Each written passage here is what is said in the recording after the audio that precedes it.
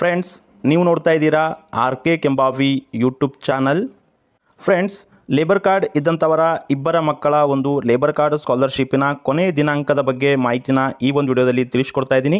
ಯಾರೆಲ್ಲ ಇನ್ನೂ labour card ಸ್ಕಾಲರ್ಶಿಪ್ಪಿನಗೆ ಅರ್ಜಿ ಸಲ್ಲಿಸಿಲ್ಲ, ಅವರು ಕೊನೆಯ ದಿನಾಂಕವನ್ನು ಎಕ್ಸ್ಟೆಂಡ್ ಮಾಡಲಾಗಿದೆ. ಇನ್ನೂ ಅರ್ಜಿ ಸಲ್ಲಿಸದೇ ಇರುವವರು ಒಂದು ಲೇಬರ್ ಕಾರ್ಡ್ ಸ್ಕಾಲರ್ಶಿಪ್ಪಿಗೆ ಅರ್ಜಿಯನ್ನು ಸಲ್ಲಿಸಬಹುದು. ಹಾಗಾದರೆ ಬನ್ನಿ ಫ್ರೆಂಡ್ಸ್ ಈ ಒಂದು ವಿಡಿಯೋದಲ್ಲಿ ಲೇಬರ್ ಕಾರ್ಡ್ ಸ್ಕಾಲರ್ಶಿಪ್ನ ಒಂದು ಕೊನೆಯ ದಿನಾಂಕ ಯಾವುದಿದೆ, ಅರ್ಜಿಯನ್ನು ಸಲ್ಲಿಸುವುದು ಹೇಗೆ, ಸೇವಾ ಸಿಂಧುದಲ್ಲಿ ಅರ್ಜಿ ಸಲ್ಲಿಸಬೇಕಾದ್ರೆ ಇನ್ನೂ ಓಪನ್ ಆಗಿದೆನಾ ಇಲ್ಲ ಎಂಬುದರ ಬಗ್ಗೆ ಮಾಹಿತಿನ ಈ ಒಂದು ವಿಡಿಯೋದಲ್ಲಿ ನಾನು ನಿಮಗೆ ತಿಳಿಸ್ಕೊಡ್ತಾ ಇದ್ದೀನಿ.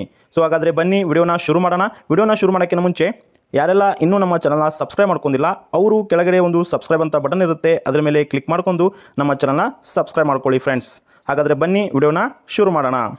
ಹೌದು ಫ್ರೆಂಡ್ಸ್ ಲೇಬರ್ ಕಾರ್ಡ್ ಇದ್ದಂಥವರ ಮಕ್ಕಳಿಗೆ ಐದು ಸಾವಿರ ರೂಪಾಯಿಂದ ಹಿಡ್ಕೊಂಡು ಎಪ್ಪತ್ತೈದು ಸಾವಿರ ರೂಪಾಯಿ ತನಕ ಬೇರೆ ಬೇರೆ ಒಂದು ಕೋರ್ಸ್ಗಳಿಗೆ ಒಂದು ಸ್ಕಾಲರ್ಶಿಪ್ಪನ್ನು ಕಾರ್ಮಿಕ ಇಲಾಖೆಯಿಂದ ನೀಡ, ನೀಡಲಾಗ್ತಾ ಇದ್ದು, ಈ ವರ್ಷ ಅಂದರೆ ಎರಡು ಸಾವಿರದ ಇಪ್ಪತ್ತೆರಡು ಮತ್ತು ಇಪ್ಪತ್ತ್ಮೂರನೇ ಸಾಲಿನಲ್ಲಿ ಕಾಲೇಜು ಅಥವಾ ಸ್ಕೂಲಲ್ಲಿ ಅಡ್ಮಿಷನ್ ತೊಗೊಂಡಿರುವಂಥ ಲೇಬರ್ ಕಾರ್ಡ್ ಹೊಂದಿರುವಂಥ ಮಕ್ಕಳಿಗೆ ಒಂದು ಸೇವಾ ಸಿಂಧು ಮೂಲಕ ಸ್ಕಾಲರ್ಶಿಪ್ಪಿಗೆ ಅರ್ಜಿಯನ್ನು ಸಲ್ಲಿಸಲಿಕ್ಕೆ ಆಹ್ವಾನ ಮಾಡಿದರು. ಸೊ, ಅದರ ಕೊನೆಯ ದಿನಾಂಕ ಮೊದಲಿಗೆ ಹದಿನಾಲ್ಕು, ಹದಿನೈದು, ನಾಲ್ಕು, ಎರಡು ಸಾವಿರದ ಇಪ್ಪತ್ತ್ಮೂರು ಆಗಿತ್ತು.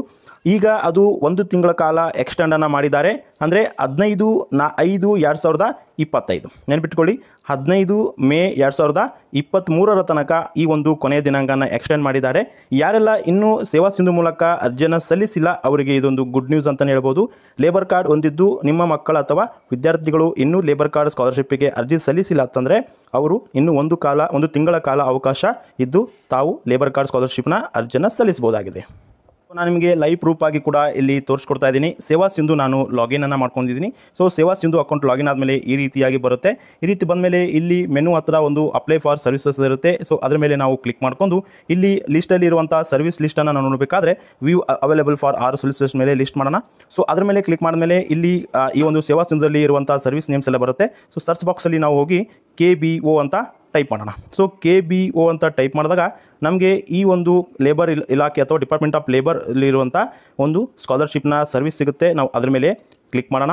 ಸೊ ಅದರ ಮೇಲೆ ಕ್ಲಿಕ್ ಮಾಡಿದಾಗ ನಮಗೆ ಲೈವ್ ಪ್ರೂಫ್ ಆಗಿ ನಿಮಗೆ ತೋರಿಸ್ಕೊಡ್ತಾ ಇದ್ದೀನಿ ಇಲ್ಲಿ. ನೀವು ನೋಡ್ತಿರ್ಬೋದು ಲೈವ್ ಪ್ರೂಫ್ ಆಗಿ ಲೈವ್ ಪ್ರೂಫ್ ಆಗಿ ನಾನು ತೋರಿಸ್ಕೊಡ್ತಾ ಇದ್ದೀನಿ. ಕರ್ನಾಟಕ ಕಟ್ಟಡ ಮತ್ತು ಇತರೆ ನಿರ್ಮಾಣ ಕಾರ್ಮಿಕರ ಕಲ್ಯಾಣ ಮಂಡಳಿಯವರ ಕಡೆಯಿಂದ ಕಟ್ಟಡ ಕಾರ್ಮಿಕ ಮೊದಲ ಎರಡು ಮಕ್ಕಳಿಗೆ ನೀಡುತ್ತಿರುವಂಥ ಶೈಕ್ಷಣಿಕ ಸೌಲಭ್ಯಕ್ಕಾಗಿ ಅರ್ಜಿ ಅಂತ ಇದೆ. ಸೊ ಇಲ್ಲಿ ಅರ್ಜಿ ಕೂಡ ಓಪನ್ ಆಗಿದೆ. ಇವತ್ತು ದಿನಾಂಕ ಹದಿನೈದು ಹದಿನಾರು ಇದ್ದು ಇಲ್ಲಿ ನೋಡ್ತಿರ್ಬೋದು ಹದಿನಾರು ಸಂಡೇ ವಿಡಿಯೋ ಮಾಡ್ತಾ ಇದ್ದೀನಿ. ಸೊ, ಹದಿನಾರು, ಏಪ್ರಿಲ್ ಎರಡು ಸಾವಿರದ ಇಪ್ಪತ್ತಾರಿತ್ತು. ಸೊ, ಈ ಒಂದು ವಿಡಿಯೋ ಮಾಡುವಾಗ ಆಲ್ರೆಡಿ ಓಲ್ಡ್ ನೋಟಿಫಿಕೇಶನ್ ಪ್ರಕಾರ ಡೇಟ್ ಮುಗಿದೋಗಿದ್ರು ಕೂಡ ಈಗ ಒಂದು ತಿಂಗಳು ಎಕ್ಸ್ಟೆಂಡ್ ಆಗಿರುವಂಥದ್ದು ನೀವು ಇಲ್ಲಿ ಲೈವ್ ಪ್ರೂಫ್ ಆಗಿ ಕಾಣ್ಬೋದು. ಇಲ್ಲಿ ನೀವು ಬಂದು ಅರ್ಜಿನ ಸಲ್ಲಿಸಿ, ಇನ್ನು ಯಾರು ಸಲ್ಲಿಸಿಲ್ಲ ಅವರು ಅರ್ಜಿನ ಸಲ್ಲಿಸ್ಬೋದು ಒಂದು ವೇಳೆ ನಿಮಗೆ ಸೇವಾ ಸಿಂಧುದಲ್ಲಿ ಅರ್ಜಿ ಸಲ್ಲಿಸಲಿಕ್ಕೆ ಬರ್ತಾ ಇಲ್ಲಪ್ಪ ಅಂತಂದರೆ ನಿಮ್ಮ ಹತ್ತಿರದ ಗ್ರಾಮ ಒಂದು ಕೇಂದ್ರಗಳಿಗೆ ಹೋಗಿ ನೀವು ಅರ್ಜಿನ ಸಲ್ಲಿಸ್ಬೋದು ಅಥವಾ ಕರ್ನಾಟಕ ಒಂದು ಕೇಂದ್ರಗಳಿಗೆ ಹೋಗಿ ನೀವು ಅರ್ಜಿಯನ್ನು ಸಲ್ಲಿಸಿ ಇದರ ಒಂದು ಉಪಯೋಗನ ಪಡ್ಕೊಳ್ಬೋದು ಫಸ್ಟ್ ಫ್ರೆಂಡ್ಸ್ ಸೊ ಈ ರೀತಿ ಒಂದು ಮಾಹಿತಿ ನಿಮಗೆ ತಿಳಿಸ್ಕೊಡೋಣ ಅಂತ ಈ ಒಂದು ವಿಡಿಯೋ ಮಾಡಿದ್ದೇನೆ. ಈ ಒಂದು ಮಾಹಿತಿ ನಿಮಗೆ ಇಷ್ಟ ಆಗಿದರೆ ತಪ್ಪದೇ ವಿಡಿಯೋಗೆ ಲೈಕ್ ಮಾಡಿ ಹಾಗೆ ಎಲ್ಲರಿಗೂ ಶೇರ್ ಮಾಡಿ ಫ್ರೆಂಡ್ಸ್ ಥ್ಯಾಂಕ್ ಯು